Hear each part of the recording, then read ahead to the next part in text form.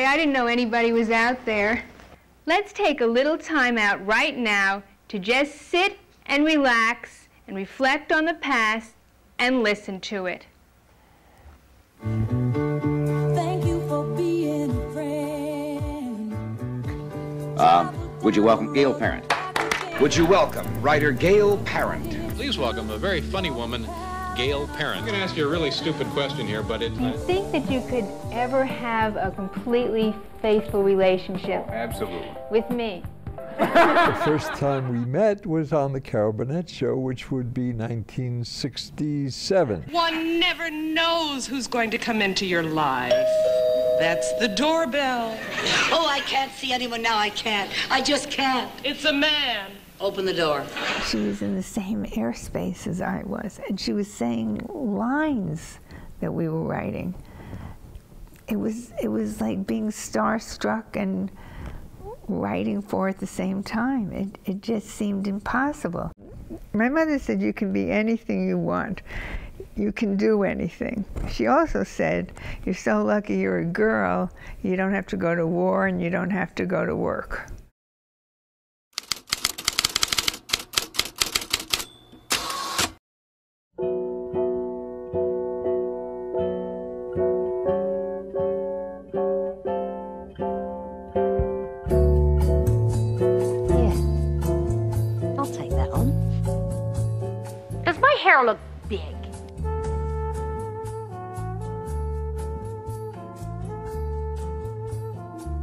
The best laid plans.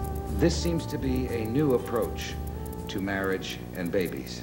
Well, it's about a single girl who wants to have a baby. She's 35. She's getting worried that she'll be too old. So um, she invites seven men over for the weekend.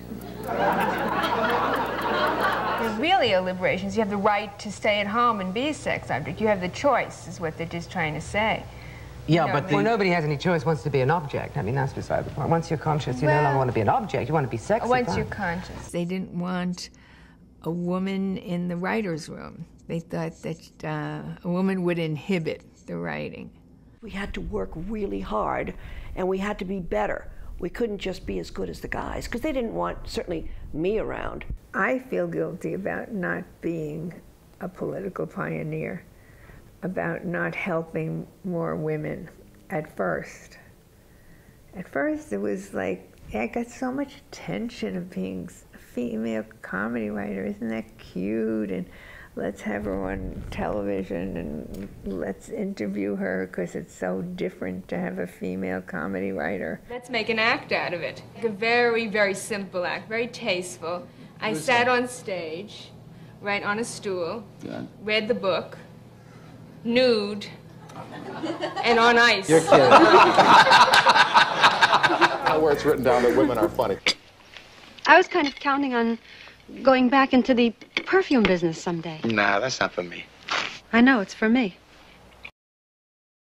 Marriage is so hard because a male and a female shouldn't be together so much. Four husbands, none of which I can understand, nor could she understand anybody that I ever married or lived with. The first husband I liked. There, before practically anybody changed diapers, picked kids up from school, did all those things, which allowed me to blossom.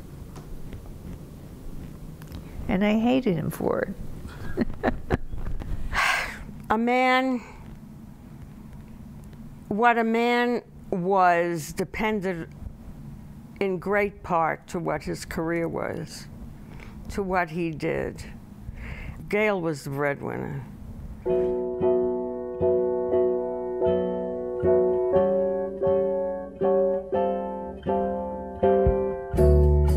Welcome, please, Gail Parent.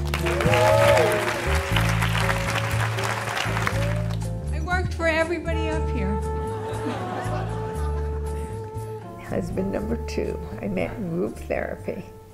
Now, red flags? Maybe.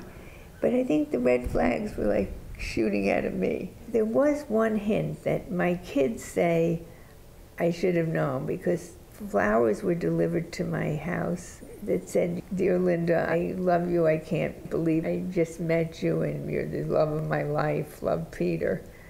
Husband number three was the gynecologist, Michael,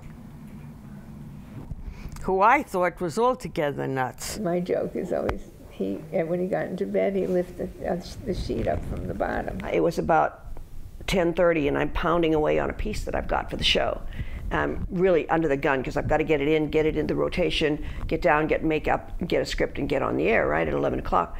And it's Gail. I picked up the phone and I, and I said yes, and she said it's me, and she's crying. And I said, "What's wrong?" And she said, "Michael left me." Well, she'd been trying to. This is probably too much for tell, but she'd been trying to get out of that marriage for a long time.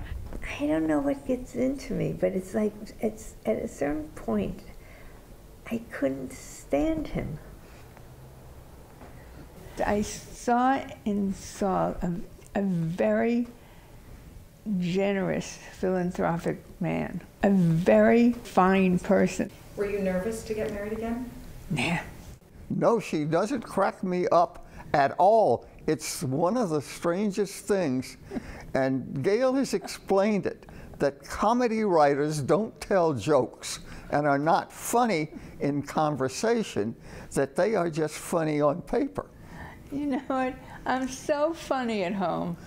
And, and, and Saul doesn't get my jokes. He doesn't get my jokes. You're the comedy writer, and I'm the funny one. He says that all the time.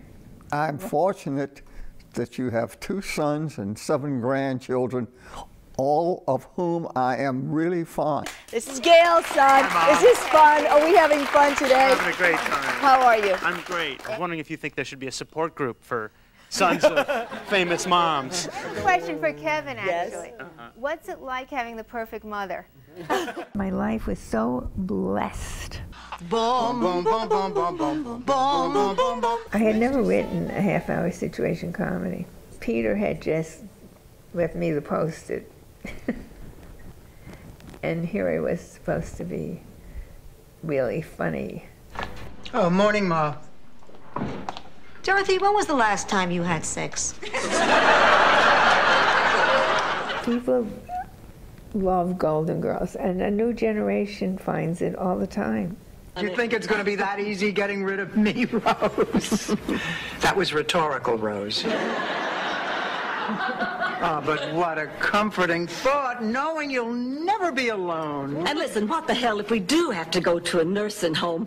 Let's all go together. What I hear most, my mother watched it while she was dying, and it really saved her. It, it's, I, it's so nice and interesting. But what happens when there's only one of us left? I always looked at these women who were older.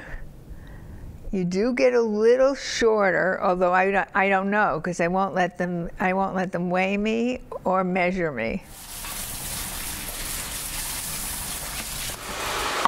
I went to my doctor on Tuesday, what is this, Thursday? He told me I had to lose weight.